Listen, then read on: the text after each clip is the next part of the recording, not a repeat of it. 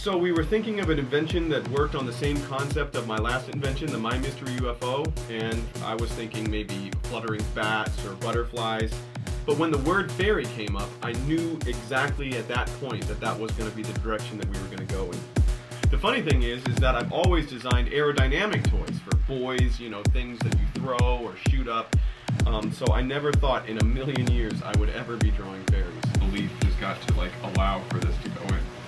Why do we need a reverse count? Well, I because then the then the element is just going to be sticking straight out of it. In fact, do you want this actual design? I do, I do. Okay. And then let's bring this one out. And then uh, I'll, I'll bring, bring these it out. swallowtails out here. And then we're gonna also have the swallowtail down low. Oh, Actually, this durometer may be very good. I was walking, was living, my melody was a cappella. Safety first. An electromagnetic coil. I'm soldering thanks, Dad. Thicker wires onto the leads from the coil. So if you double the amount of wire, you'll double the resistance. and we are having This is the state of the art in fairy technology. the brains of it. This is an AVR microcontroller. This one actually has more power than the Apollo spacecrafts did.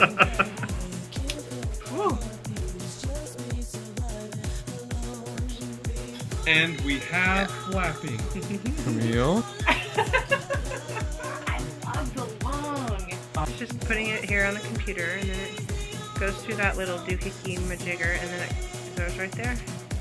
You know how difficult it was for this company to get the trade name for Doohickey Majigger?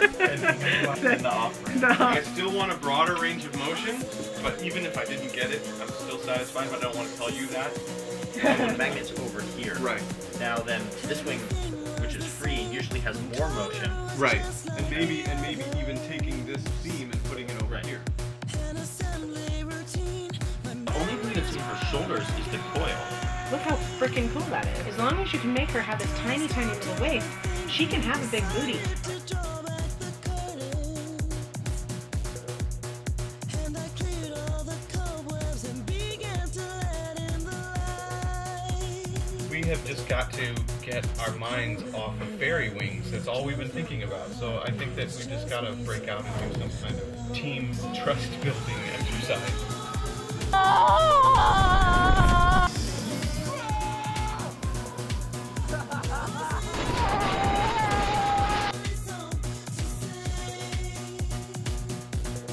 kind of hit a dead end. Our costs are too high.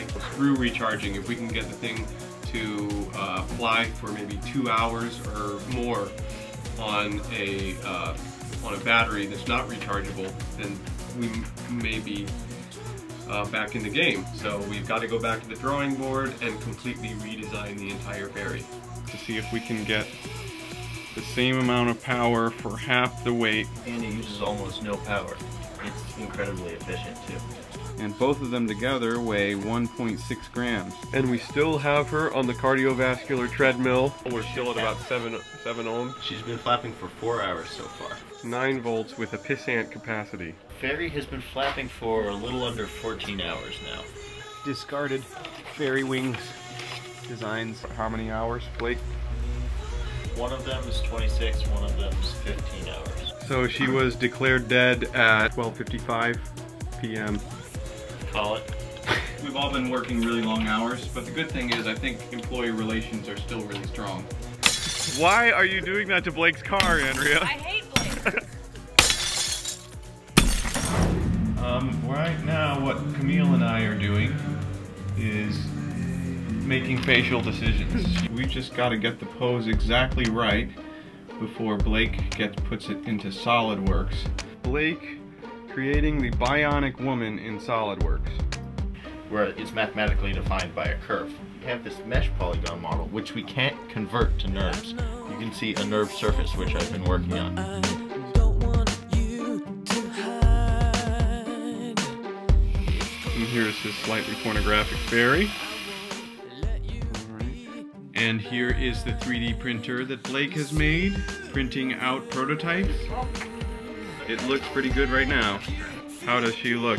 She is beautiful. Making a fairy stew? I am boiling fairies. and once we do this, I can bend the neck a little bit, Ooh.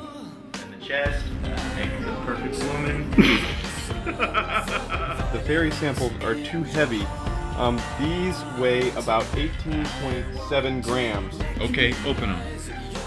Oh my god. this is like a real thing. Oh, don't worry about the cost. Mark is paying for everything. yeah. You guys had us mention. That's brilliant. I, I was really worried.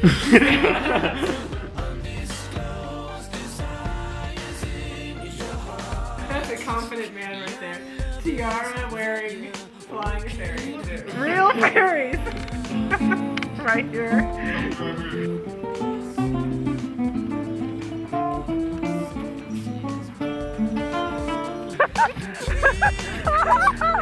oh my god! I helped you and then got up to try to get some payback. Each one of these is a layer, okay? And let's look at how many layers we have in this Photoshop file. If that were at 100% opacity, this is 48%, it would just look like a big flower or something like that. You can't turn it down there. now you have your three layers. Um, and then you wrap it around her. We had to do something where it was just um, sleeveless, which is very elegant actually. I am mixing the paint so we can get the color concept for the fairies perfect. I think we just finished the look of these fairies. All right, she needs brown eyes, but come check them out. Come, you, over here. Look this way. With the bright little accent of the bright pink sash. They're so cute. I just love them, each one of them. Oh yeah, isn't that cool? Where are we? The Olympic rainforest. Scouting location. It is so We'll mount the fairy cam. You have oh, there we go. And up and out here. Keep on backing up till the fairy's in the sun.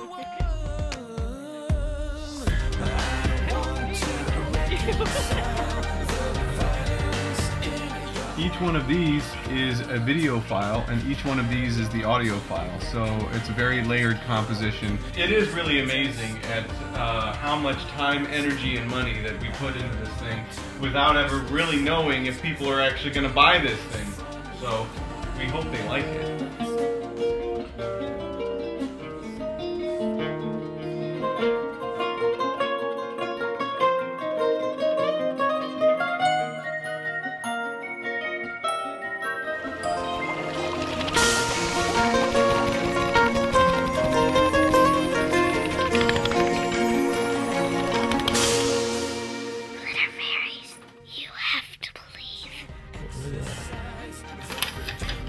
I do like how it works. Should we still have the video frame so it's still full? Sure.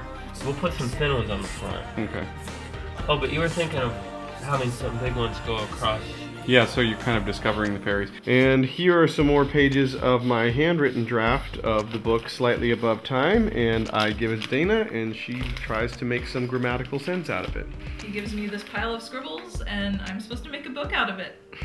I'm basically trying to illustrate the world uh, so the reader can understand like the places and races and events without having to go into a lot of description. They can just look at it and kind of relate to what's going on. We have all of our stuff for the trade show. These are just clothes. Tell me when. When Oh my god! No way. Oh, I got that one on Just kick that forward. I know now. and we pull it. All right, I'm on my way to China to oversee production, and it's on the other side of the world. So just remember, while you guys are relaxing and sleeping, I'm going to be working and slaving in China.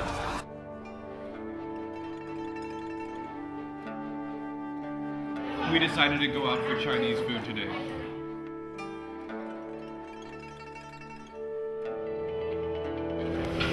All right, this is Fairyland. Where it all happens. This is where all of fairies are born and created. You are looking at a fairy nursery here, where fairies are being born. Um, the painting process has already been done. The injection molding's already been done. So they are basically, and the electronics have already been done. So um, basically, they're putting together the, the final assembly of the fairies. And as you can see, it's a pretty um, intense process.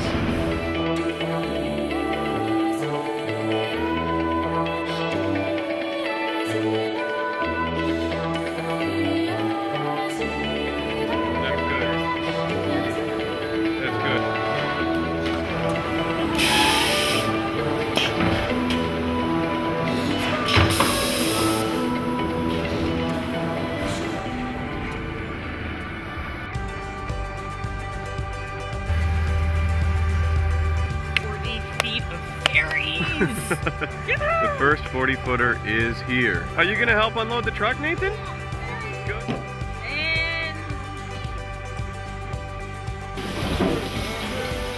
Could it be? Oh my gosh, the end. Okay, now I know we're violating child labor laws. My first box of little 12. Shall you? There is the problem of this thing cutting through the name. We are fixing that. Bugs me big way. Fixing it. Huge problem. We are fixing This is very, very cool. The day of reckoning has come. We are going to New York to launch the fairies and see if anyone will actually buy these. So, needless to say, we're all very nervous. to rent in this town, you're out of luck. And the reason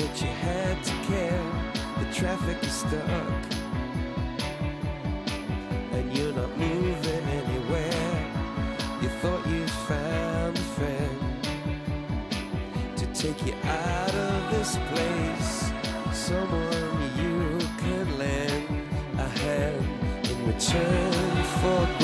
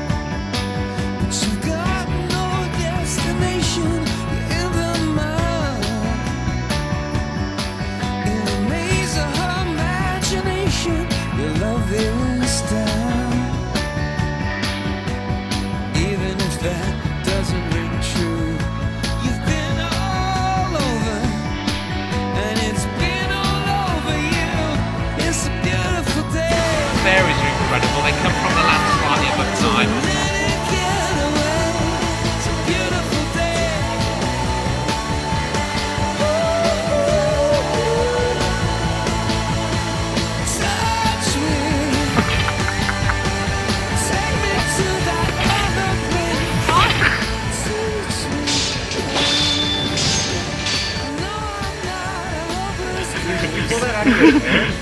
this is what I have to do. What's wrong, Mark? Even though we've paid tens of thousands of dollars for every toy test imaginable and passed with flying colors, the CPSC decided to stop all shipments until they do their own tests, even though we gave them all the paperwork. But each day that goes by is costing us thousands of dollars in lost sales, and they're charging us for the storage charges of the five containers that are still sitting at the port, and we haven't even shipped out Fairy 1.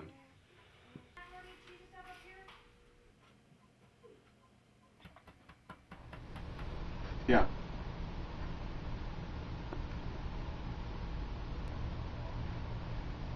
Okay. Everything's fine. Yeah? We can ship tomorrow. It's a.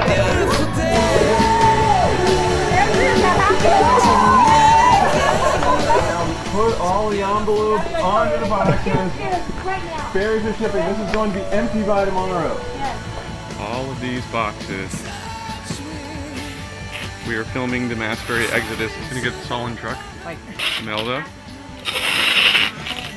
10:30 at night 10:30 at night. Why? for QVC. For Q. When do we have to have these out, Imelda? Come on, Mark. I don't have my eye on. Oh! oh Lord.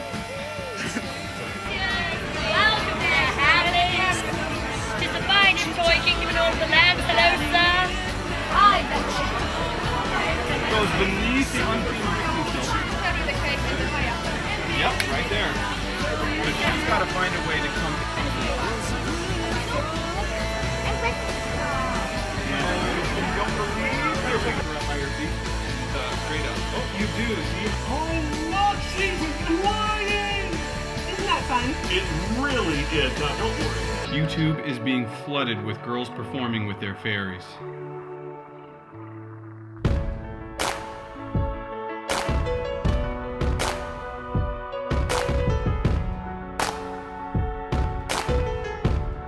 We're judging the entries for the Snow Fairy Keeper contest.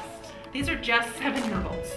That's a seven-year-old American. This, Let's is, see. this is a nine-year-old, but this is look from the UK. that is. This was a five-year-old, This is one we like from our oldest age cut. That is. thirteen-year-old from Wales. Look at that one. The wings That- and the aura. The little butterflies. There are a lot of kids who worked really hard on this. Amazing. Everywhere